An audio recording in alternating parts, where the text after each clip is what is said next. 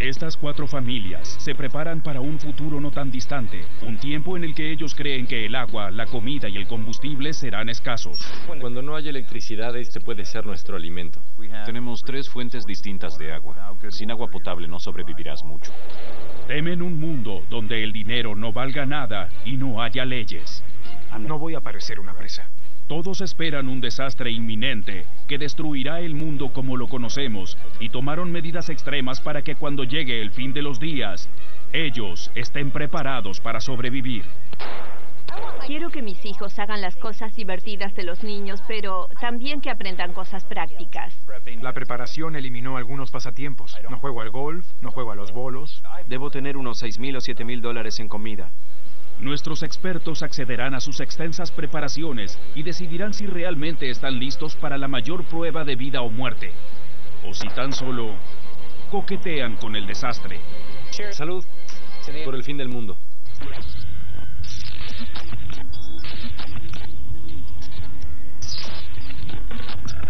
Preparados para el fin del mundo. Dennis y Daniel McClung Viven en un suburbio de Phoenix con sus dos hijos. Él es diseñador de sitios web y ella enfermera. ¿Cuáles son? Y son una típica familia de clase media. Excepto... ¡Ya!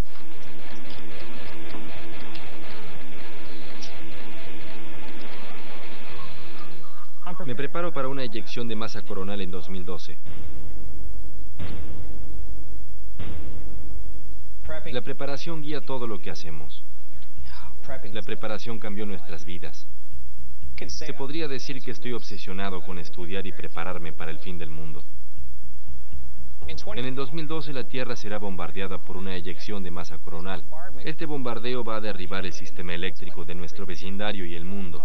Tendremos un par de días de agua, una semana de comida y en 30 días el vecindario será un pandemonio. Las eyecciones de masa coronal o EMC son erupciones poderosas del Sol que salen de la atmósfera solar. Si estas masas de plasma llegaran a la Tierra podría ser catastrófico. En 1859 una enorme eyección de masa coronal perturbó los sistemas de telegramas de todo el mundo. Ocurrieron tormentas menos severas en 1921 y 1960, mezclando señales de radio en todo el mundo. Si estas masas de campo magnético llegaran hoy aquí, podrían en teoría destruir nuestro sistema eléctrico, lo que perturbaría cada faceta de la vida moderna.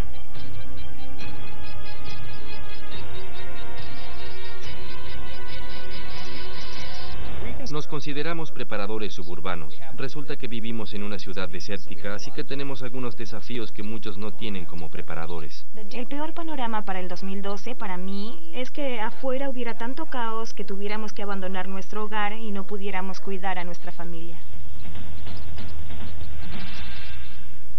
Digamos que nuestra familia está aquí, en nuestro hogar, en una noche del 2012, y llega la eyección de masa coronal. Lo primero que notaremos es que se apagarán las luces. Eso es lo que menos nos preocupa porque tenemos un par de días de agua. Y después de eso, lo siguiente que se acabaría sería la comida. Unos siete días después de que llegue la eyección de masa coronal ya no tendremos medicina moderna. Luego las cosas se ponen muy espeluznantes y podríamos tener 140 fusiones nucleares. En 2009, Dennis mudó a su familia de un departamento pequeño a su casa suburbana soñada.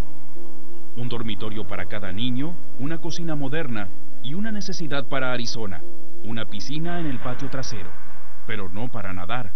Nuestra casa venía con una piscina grande y vieja, y lo que hicimos fue colocarle un armazón y convertirla en un invernadero acuapónico alimentado por energía solar para ser tan autosuficientes como podamos para el 2012. Canela. Sí. ¿Está bien? Muy bien. Tenemos las gallinas en el estanque y nos dan huevos todos los días. Sus residuos caen a la laguna y alimentan a las plantas y a las algas, que a la vez alimentan a los peces y comemos pescado a diario. Y el agua de los peces a la vez provee a las plantas de nutrientes. Así que convertimos la piscina en un invernadero suburbano autosuficiente para prepararnos para la eyección de masa coronal de 2012. Originalmente la piscina era un rectángulo de 5 metros por 9 metros. Tenía 3 metros de profundidad y un metro y medio en la parte poco profunda. Así que son unos 50 metros cuadrados. Y en ellos podemos criar miles de tilapias. Y lo increíble de la tilapia es que pueden tener 1200 bebés a la vez y se reproducen entre 4 y 6 semanas más tarde. Así que pueden crecer exponencialmente. El agua de la tilapia llega por una bomba que usa una electricidad mínima y se abastece de paneles solares y se distribuye por la gravedad a las plantas. Básicamente lo que hacemos es criar pescados y usamos ese agua llena de nutrientes para cultivar alimentos. Tenemos colchina, tenemos uvas, zarzamoras, pimientos, zanahorias, brócoli. Tratamos de vivir autosustentablemente para sobrevivir a un apocalipsis. El corazón del sistema de producción alimenticio de Dennis es la minúscula planta milagrosa llamada lenteja de agua. No solo purifica el agua, sino que como tiene tanta proteína como la soja, la usan de alimento para los peces, el ganado y exploran la manera en la que, como último recurso, puedan comerla ellos. Está espesa. Tenemos mucha, deberíamos hacer un batido. Es una buena idea. Solo pruébalo. Sí. Toma. Toma. ¿Lista? Tiene sabor a lechuga. Sabe a lechuga. En el caso de que hubiera una eyección de masa coronal, los aparatos de cocina alimentados con electricidad serían inútiles. Daniel usa el horno solar para todo, desde hornear pan hasta para hacer tomates deshidratados e incluso para deshidratar lenteja de agua para un batido proteico.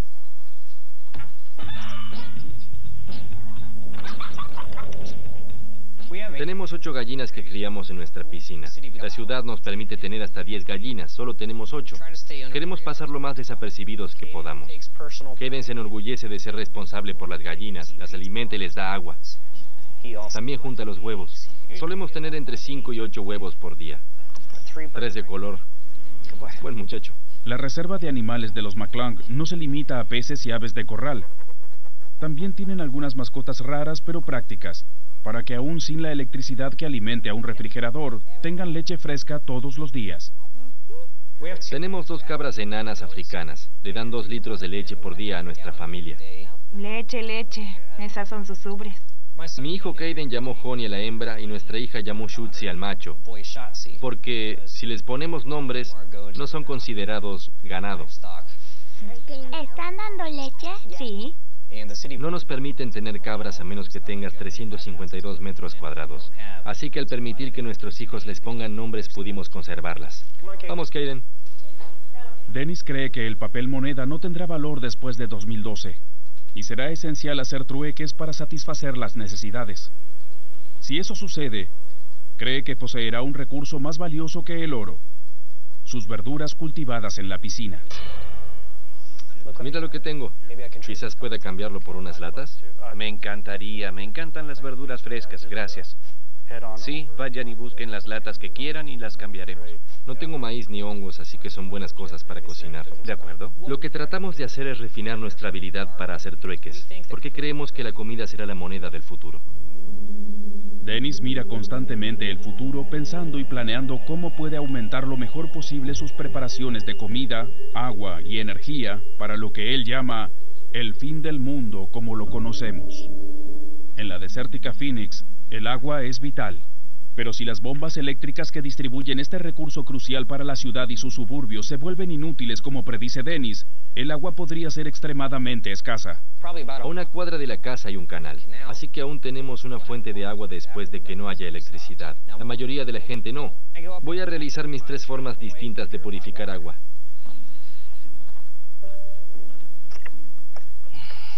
El modo más simple y rápido es usar tabletas de purificación de agua. Esta tableta en particular lleva unos 10 minutos. Básicamente es cloro, del mismo tipo que nuestra lavandina. Le pones estas tabletas, la agitas y esperas unos 10 minutos. Lo hueles y deberías poder oler el cloro. Significa que lo puedes beber.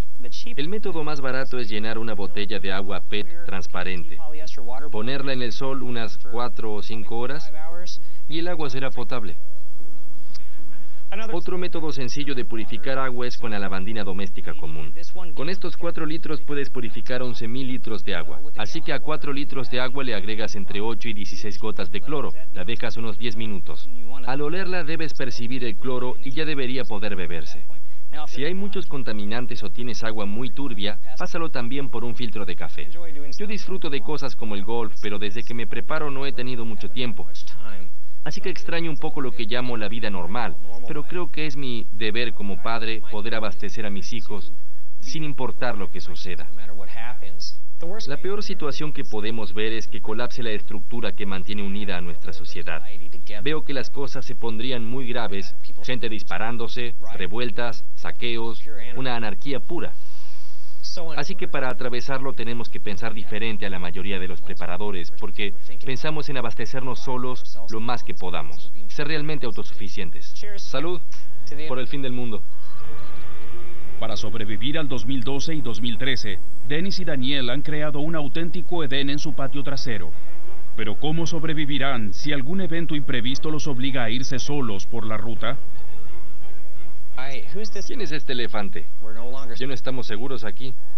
¿Y qué pensará nuestro experto de su probabilidad de supervivencia? Soy una típica ama de casa suburbana de Phoenix, excepto que me preparo para el fin del mundo.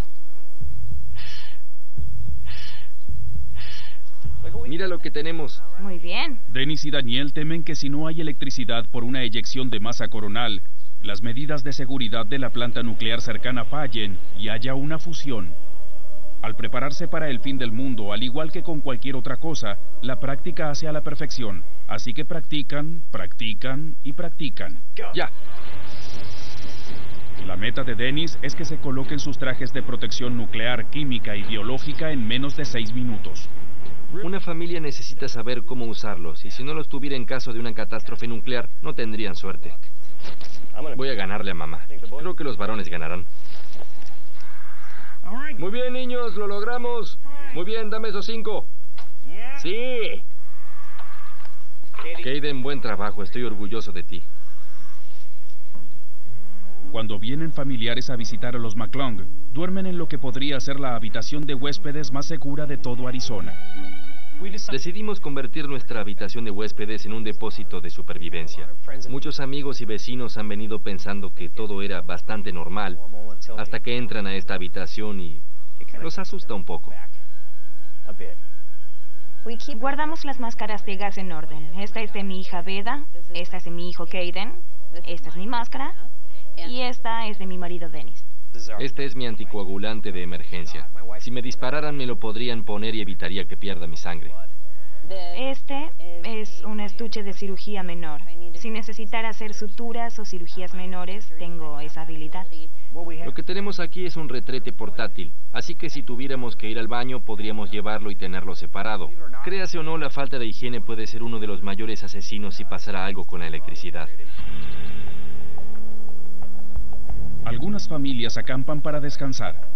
Pero en una emergencia, Dennis cree que tendrá que sacar a su familia de la casa y de Phoenix lo más rápido y mejor preparado que pueda. No hay espacio para salchichas y malvaviscos en la mochila de retirada de Dennis.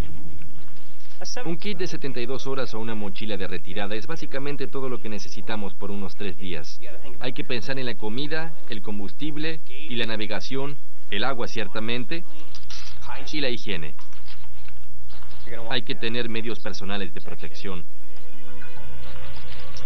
El equipo de 72 horas podría ser la diferencia entre la vida y la muerte. Para nosotros prepararnos es un asunto familiar. Acostumbramos a nuestros hijos a prepararse con nosotros. Los llevamos de campamento, hacemos las mochilas de retirada. Mi hijo tiene su silbato favorito.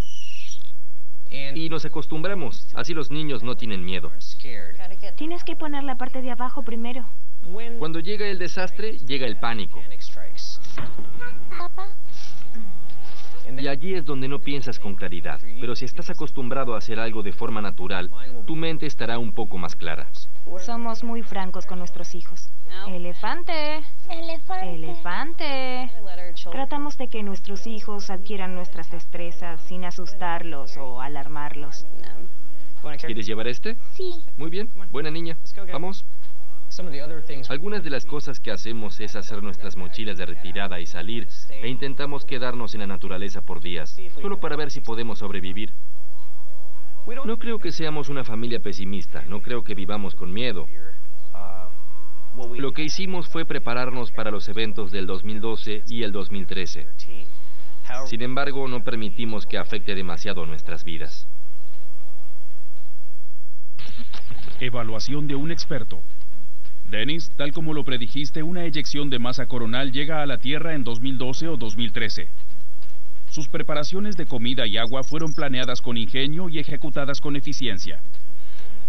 Te has preparado para enfrentar amenazas menores, contar con elementos de medicina y condiciones de salubridad. Sin embargo, al no integrar a tus vecinos a tu plan, tus recursos alimenticios podrían convertirse en un blanco valioso. Nuestro experto te recomienda que incluyas a tus vecinos en tus planes y los ayudes a desarrollar los suyos para aumentar tus probabilidades de supervivencia. Bien, no estoy de acuerdo. Tenemos mucho apoyo de nuestros vecinos. Hay muchas personas que podrían pedirnos ayuda y lo haríamos, porque sabemos qué es lo que deberían hacer. Sería dirigir su energía, porque debemos trabajar unidos como una comunidad y sobrevivir el 2012. Actualización de preparados para el fin del mundo. Aunque Dennis no está de acuerdo con la evaluación, subsecuentemente se reunió con más vecinos, invitándolos a recorrer su piscina y enseñándoles estrategias para prepararse.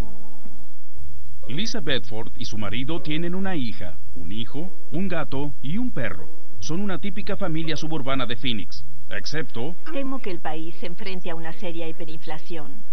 Son preparadores.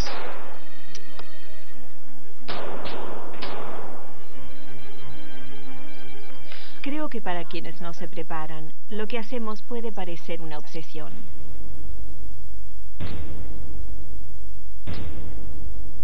Pero a mí no me obsesiona nada.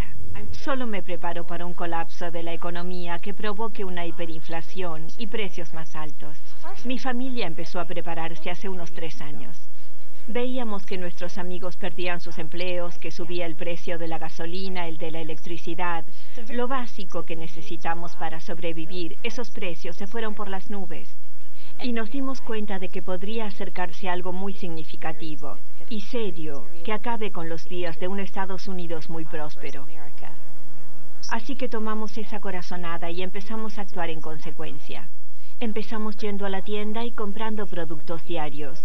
Creo que estamos bien de sopa de tomate y de pollo con fideos. Comencé a investigar y me di cuenta de que necesitaba almacenar lo básico como trigo y arroz para agregar a mi depósito de comida. No lo llenes demasiado. Usamos botellas de gaseosa por mucho tiempo. FEMA aprueba oficialmente esta clase de plástico para almacenar comida. No sé cómo voy a comer esto cuando termine el mundo. El mundo no se va a terminar. ¿Actúas como si así fuera? No, no va a terminar. Involucramos a nuestros hijos en lo que hacemos, simplemente evitando que sea algo anormal o fuera de lo común. Si alguna vez grito, saquen sus mochilas de retirada, niños, ya sabrán qué hacer. La gente me llama preparadora suburbana, pero yo prefiero considerarme una mamá suburbana típica que tiene el futuro en la mira. Y me gusta pensar que puedo prepararme para el futuro un poco cada día. El movimiento de preparadores crece exponencialmente. Tiendas que antes solo vendían a restaurantes, hoy reciben individuos que intentan almacenar. Hoy Lisa compró en Honeyville Farms, una tienda que satisface sus necesidades de alimentos liofilizados, deshidratados y a granel. ¿Cuántos son en su familia? Cuatro. Cuatro. Dos niños. Comenzamos vendiendo a panaderías, restaurantes y en los últimos años estamos tratando de atraer al cliente preparador. Así que está aprovisionada para cuatro meses. Así es. Bien. ¿Y cuál es su meta? ¿A cuánto quiere llegar?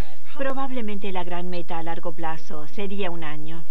La gente busca artículos a granel y frutas liofilizadas, carne liofilizada. Esas cosas duran mucho tiempo. Hablamos de 10 a 15 años para la mayoría de estos productos. Y puedes liofilizar casi todo. Mucha gente se siente muy urgida de llegar a ese estadio de preparación porque sienten que se acerca algo.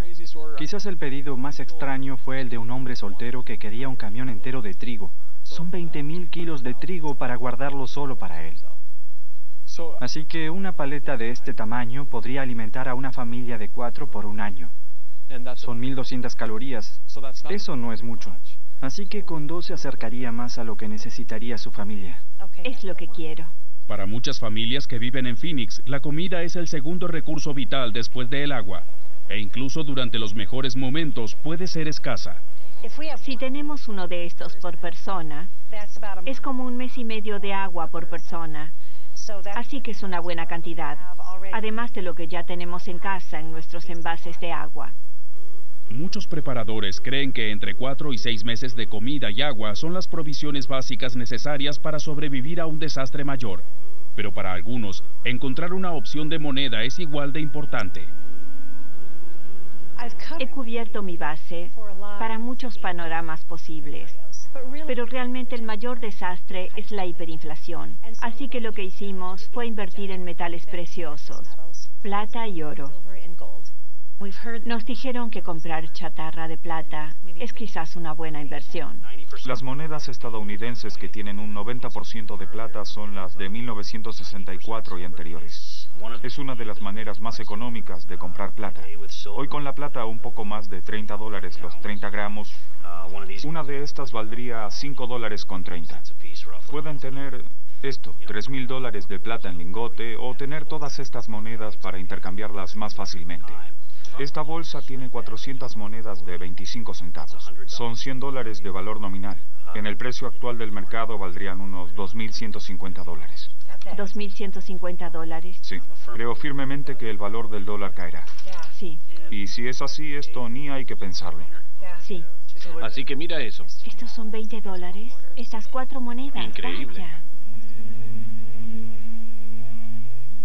Las madres suburbanas piensan en una época en la que su vecindario seguro ya no sea tan seguro.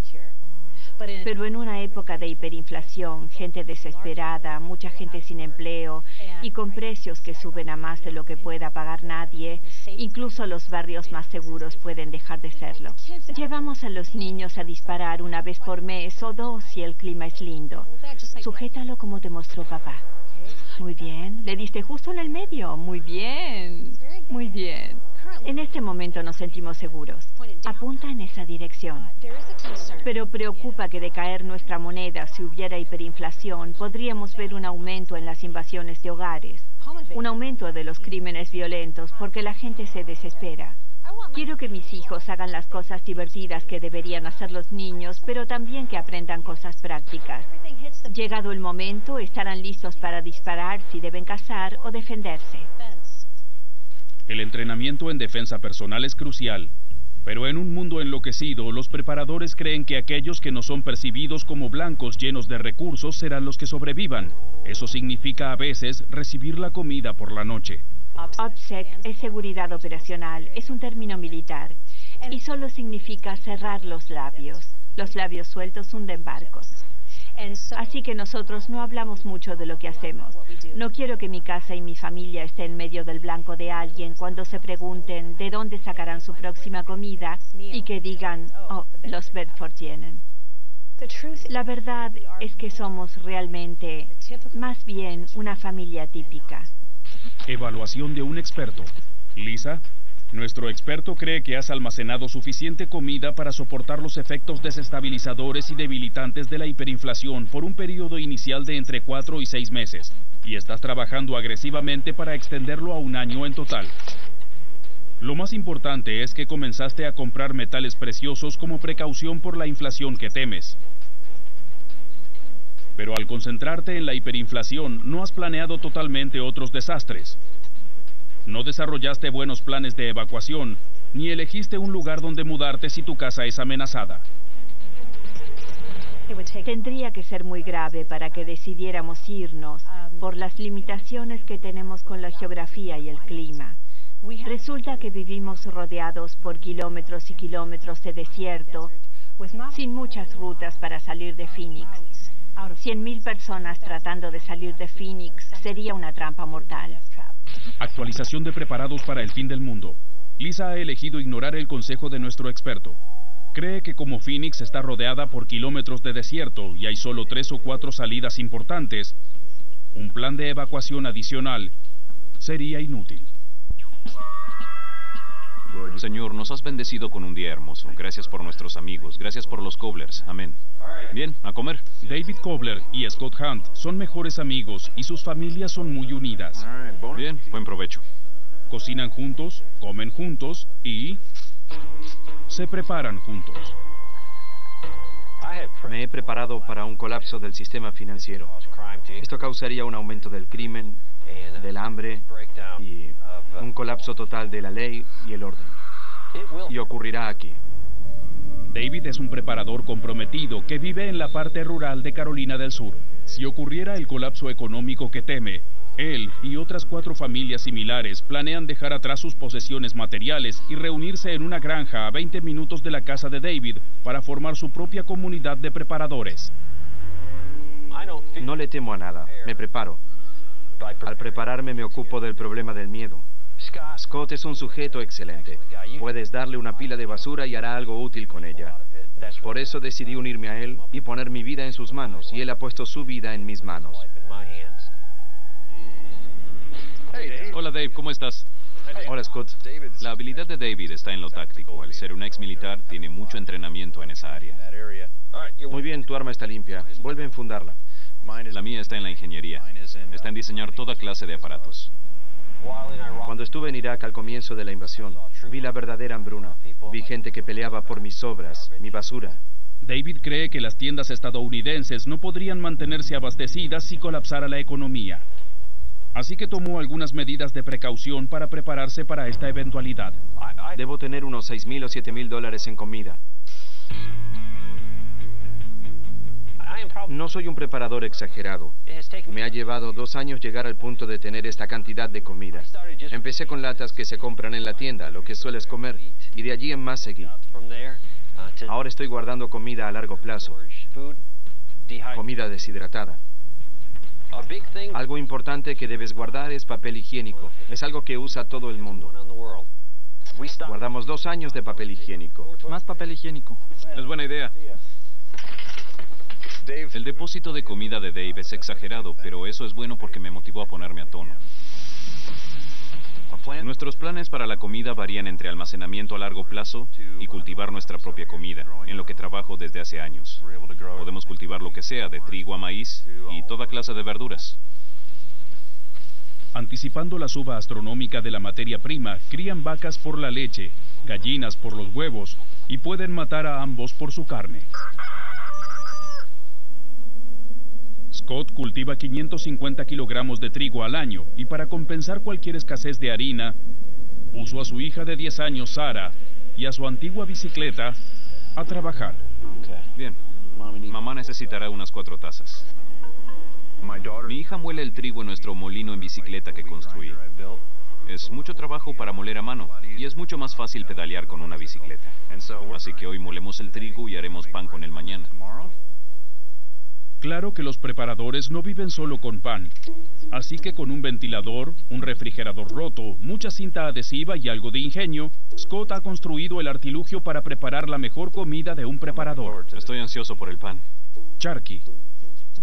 Tomo agua caliente de mi caldera de madera de afuera y traigo agua aquí a 180 grados en el cambiador de calor. El ventilador sopla atravesando el cambiador y el aire caliente viaja a un refrigerador viejo. Así que todo el aire caliente lo atraviesa. Y si lo cerramos dejando que escape solo un poco de aire, en cuatro horas comeremos charqui. No lo hacemos por miedo, es un estilo de vida para nosotros. Disfrutamos de tener un suministro de un año de comida. Le da seguridad a mis hijos. Un ser humano solo puede sobrevivir una semana sin agua. Scott comprende que tener acceso a ella es crucial para su supervivencia. Tenemos tres fuentes distintas de agua y cinco maneras de bombear el agua por la montaña. Sin agua potable, no sobrevivirás mucho tiempo. Tenemos bombas hidráulicas para bombear agua por la montaña. Tenemos manantiales. Aquí hay un panel solar que usé para bombear el agua del manantial. Y luego hice un pozo del que puedo sacar agua con una bomba de mano. Así que puedo sacar agua de la tierra para mi familia. Si nuestra economía colapsa totalmente, el combustible, el gas y la electricidad podrían volverse prohibitoriamente caros o incluso no estar disponibles. Scott y David se preparan para usar una alternativa alguna vez tradicional pero inusual, de la cual tienen aparentemente una enorme provisión. Hacemos todo lo que podemos con la madera, desde cocinar, a calentar nuestro hogar y a calentar nuestra agua incluyendo conducir su camión. Aquí tengo mi gasificador. Mi gasificador extrae los gases de la madera y luego lleva los gases directamente al motor. El gas llega del lado derecho del motor y después lo conecto a un carburador que tengo aquí. Luego el carburador de gas de madera mezcla el aire y el gas de madera en una proporción de 50-50. Y eso es todo, es muy sencillo. Este proceso existe desde la Segunda Guerra Mundial. Está haciendo buen gas. Podemos encender el camión. Muy bien, usamos la madera, ya podemos salir. Poder dar una vuelta por la tarde es agradable, pero si se materializaran sus miedos, este camión Ford de 1962 fue reformado para conectarlo a un generador que abastezca a todo el complejo habitacional. Un kilo y medio de esta madera da aproximadamente un kilowatt por hora de electricidad. Y con la madera creo que tengo un suministro indefinido en esta área. Nuestra meta es tener suficiente gasolina para funcionar un año, unas cuatro horas por día, para que los refrigeradores estén fríos y para que funcionen herramientas, máquinas o lo que sea. En el año 2000 pensaron que estaba loco, pero ahora no lo escucho tanto. Definitivamente no estoy loco. Vi muchas cosas en otros países y eso me motivó y le dio forma a mi pensamiento. Hoy podemos llamar al 911. Algún día podemos no tenerlo, así que será tu responsabilidad cuidar de tu seguridad. Si ocurriera un colapso económico total, Scott y David anticipan que serán atacados por bandas errantes de merodeadores y que tendrán que proteger lo que construyeron aquí. Si no tienes un plan estarás en serios problemas porque nadie te ayudará. En la parte rural de Carolina del Sur, Scott Hunt y David Kobler están preparándose para combatir su mayor miedo. Un posible colapso económico mundial. Pasaron años e invirtieron miles de dólares construyendo su complejo habitacional autosuficiente. Sin embargo, todo podría ser por nada si no pueden protegerse de los atacantes que no tuvieron la previsión de prepararse. Si no tienes comida, morirás. Si no tienes armas de fuego, alguien podría quitarte tu comida. Así que para mí hay que equilibrarse entre armas de fuego y comida. David Kobler es dueño de muchas armas y miles de municiones. Frecuentemente organiza una sesión de entrenamiento en la que todo hombre, mujer y niño debe participar. Así estarán preparados para ese fatídico día en que se vean enfrentados a la mayor decisión de supervivencia, matar o morir. Si no disparas todos los días te oxidas. Es una habilidad que no debes dejar de trabajar. Excelente, eso es. Perfecto. Puedes escalarlo como lo hicimos, te lo hará más fácil. Debes sentirte cómoda. Podría ser un gatillo sensible, así que relájate y hazlo cuando estés lista. Poder disparar cualquier arma que tiene nuestro grupo es una obligación. Nunca disparé una AR-15. Tengo cuatro AR-15, uno para cada miembro de la familia. Esta arma es importante porque es un multiplicador de combate. Un multiplicador de combate es algo que te hace más fuerte de lo que eres en realidad. El miedo ni siquiera es una palabra en mi vocabulario. El miedo te paraliza y te deja quieto en un lugar.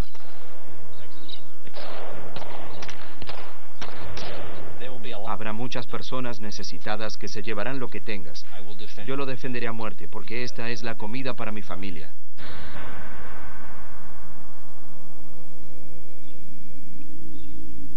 22 hectáreas es un área casi imposible de defender con eficiencia. Para superarlo, David formuló un plan que crea un perímetro de defensa constantemente vigilado. Decidimos que durante la noche solo vigilaremos dos o tres hectáreas. Hoy busco lugares donde poner más cuerdas de trampa. Estos pequeños aparatos son multiplicadores de combate. Nos hacen sentir y parecer más fuertes. Este es un sendero natural que atraviesa el arroyo. Si alguien viene por esta área, van a disparar el aparato. Así que si es una amenaza, podremos lidiar con ella. El extenso entrenamiento en combate de David le enseñó que para tener ventaja en un conflicto con gran número de atacantes, él necesita verlos a ellos antes de que ellos lo vean a él. Colocamos un PEPO en el perímetro. Un PEPO es un puesto de escucha durante la noche y un puesto de observación durante el día, así que podemos ver si se acerca gente. Hay lugar para que dos hombres disparen si es necesario. Este es un teléfono de campo conectado con un cable a nuestro puesto. Así que es muy seguro. Nadie puede captar la transmisión como si usáramos una radio. Estamos cuidando una infraestructura vital. Cuidamos nuestros paneles solares, la fuente de agua de la laguna, así que es vital que mantengamos esas áreas bajo nuestro control y nadie se meta ni dañe nuestra infraestructura. Sin dudas podríamos manejar a 10 merodeadores, incluso 20. David ha pasado horas y horas creando y evaluando varios planes de contingencia. Si él u otros fueran separados del complejo, diseñó un sistema de puertas ocultas que les permitirán sobrevivir y luchar por días. Este es un depósito de supervivencia. Les agradecería que filmen solo la entrada, así no se sabe dónde es. Incluí muchas cosas, diferentes herramientas. También tenemos comidas listas, latas de conserva y diferentes entradas. Esto conservará la vida de mi familia por varias semanas sin problemas. Jamás vivo con miedo. El miedo te lleva en la dirección equivocada. Pero estando preparado, sé que si me despierto mañana y no hay dinero porque colapsó el sistema financiero, para mí será otro día. Cuidaría de las gallinas, iría a cortar leña y la vida para mí continuaría. Evaluación de un experto. David Scott, sus peores miedos se hicieron realidad. El mundo ha caído en un caos económico inimaginable. Sus preparaciones son impresionantes. Han desarrollado varias fuentes de agua fresca y cercana. Almacenaron suficiente comida para sobrevivir las ondas expansivas económicas iniciales y cultivaron suficiente tierra y criaron suficiente ganado como para ser autosuficientes por años. Cubrieron sus medios cruciales de comunicación, combustible e higiene. También tienen un plan claro de cómo mantener la seguridad y los medios para ejecutarlo. Sin embargo, nuestro experto sostiene que su complejo puede ser demasiado visible y llevaría a forasteros a creer que son un blanco de alto valor.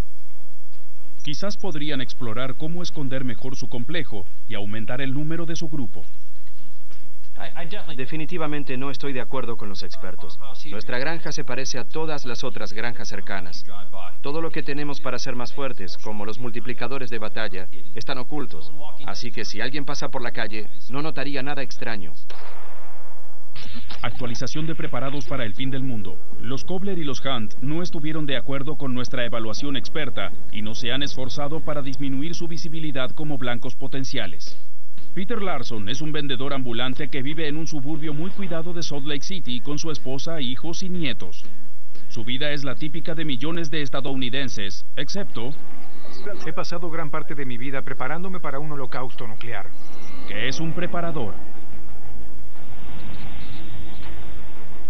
Creo que hay una alta probabilidad de un ataque nuclear en Estados Unidos, probablemente de mano de los terroristas. La peor pesadilla que puedo imaginar es un holocausto nuclear, donde una organización terrorista llega a poner las manos en el sistema de distribución que les permita detonar el arma sobre Omaha, Nebraska. Un preparador es alguien como yo que se prepara. Y no significa que sea un extremista. Simplemente decidí que era hora de construir un refugio para mí y para mi familia. Siempre está la pregunta de si podré o no llegar a mi refugio. Mi refugio está a una hora 20 minutos en automóvil. Cuando haya un ataque nuclear, la lluvia radioactiva irá primero al este, siempre y cuando los vientos predominantes continúen llevándola en esa dirección. Tengo tres rutas. La regla de tres guía los planes de muchos preparadores. Peter tiene tres medios de transporte utilizando tres rutas diferentes de su hogar a su refugio. Para practicar el peor panorama, Peter suele dejar su auto y caminar los últimos kilómetros hasta su refugio nuclear. La preparación eliminó algunos pasatiempos. No juego al golf, no juego a los bolos, no sigo los deportes. La mayor parte de mi tiempo la concentro en lo mejor que puedo hacer para preparar a mi familia para un holocausto nuclear. Esta es mi bolsa de retirada. La llevo conmigo a donde quiera que voy. Tiene todo lo necesario para regresar a mi refugio. Un equipo para hacer fuego. Tengo una sierra de mano. Filtros de agua. Si hablamos de un colapso del sistema, si hay un ambiente hostil, es importante que tenga agua limpia. Estoy bombeando esta agua por un filtro de cerámica. Es como bombear agua a través de una roca. Me va a proteger de lo que sea que haya en el agua. Tengo unos 4.000 litros de agua guardados. Eso nos alcanzará para unos dos meses. Al final del verano tendré otros 4.000 litros para dos meses más. Al planear, Peter es meticuloso e implacable. A lo largo de cualquiera de sus rutas posibles escondió provisiones cruciales. Este depósito oculto en la granja de un amigo está a solo unos kilómetros de su búnker. La idea de un depósito es simplemente tener suministros adicionales colocados en el camino entre mi hogar y el refugio para reabastecerme de comida, agua y otras necesidades. Este también es un lugar donde puedo pasar la noche. No solo es cálido, sino también cómodo y seco. Como un vendedor exitoso, Peter recorre grandes distancias. Cuando llega a una nueva ciudad, la examina con su oscuro prisma de la supervivencia. Cada vez que estoy en un área metropolitana, siempre estoy consciente de la salida más rápida porque miro la ciudad francamente como una trampa mortal. En este mundo hay tres clases de personas. Hay ovejas, perros ovejeros y lobos. Yo determiné hace unos años que no voy a ser una oveja. Soy un perro ovejero. Mi refugio está ubicado al pie de las colinas, en una parte remota del estado. Es un paraíso. Y creo que en caso de un holocausto nuclear seguirá siendo un paraíso.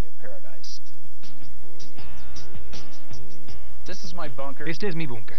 Lo diseñé y lo abastecí especialmente para mi familia. Hay personas, supongo, que ven esto y se preguntan por qué haríamos semejante cosa. Muchas personas tienen cabañas. La mía está debajo de la tierra. Esta unidad es un tubo corrugado de 15 metros de largo y 3 metros de diámetro. En el suelo tengo suficiente comida, suministros médicos, agua y ropa para que le dure al menos un año a mi familia. Hace unos cinco años decidí que era hora de tener un refugio para mi familia y para mí. ¿Qué cenaremos? Ramen y macarrones con queso. También usamos nuestro refugio para descansar el fin de semana. Así que se convirtió en nuestra cabaña del bosque. Es un lugar a donde nos agrada venir. En el caso de un holocausto nuclear, es bueno tener un lugar donde estés cómodo y tenga esa belleza y serenidad. Las preparaciones extremas de Peter para cuidar a su familia de un holocausto nuclear nunca se completan. Constantemente acrecienta su depósito de comida y agua, mejorando sus habilidades para sobrevivir y gastando más y más dinero y tiempo en reforzar su búnker. Cuando caiga la bomba, estaré seis metros bajo tierra en el refugio con mi familia, con esta puerta cerrada, trabada. Es capaz de soportar la presión de un camión de basura totalmente cargado.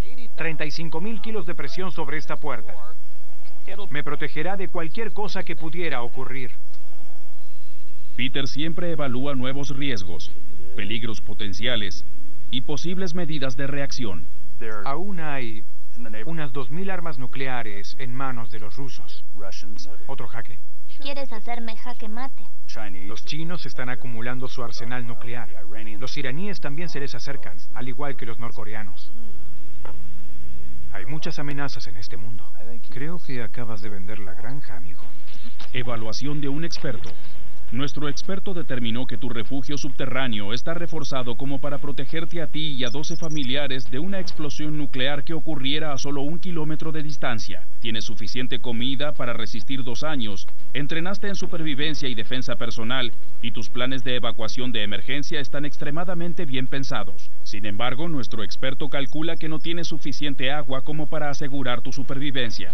Para seis meses necesito 11.000 litros de agua. Me ocuparé de eso.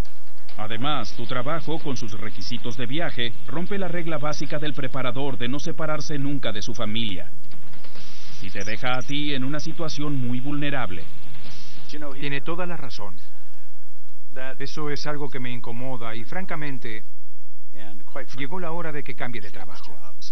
Actualización de preparados para el fin del mundo. Peter ha seguido el consejo de nuestro experto y ha comenzado el proceso de adquirir y almacenar más agua. También busca activamente un nuevo empleo que lo mantenga más cerca de su hogar. La mayoría de los científicos, economistas y líderes militares creen que en un futuro inmediato los cataclismos descritos en este programa siguen siendo muy poco probables. Sin embargo, Las autoridades gubernamentales recomiendan un nivel más alto de preparación y conciencia para lidiar con lidiar inesperados y desastres.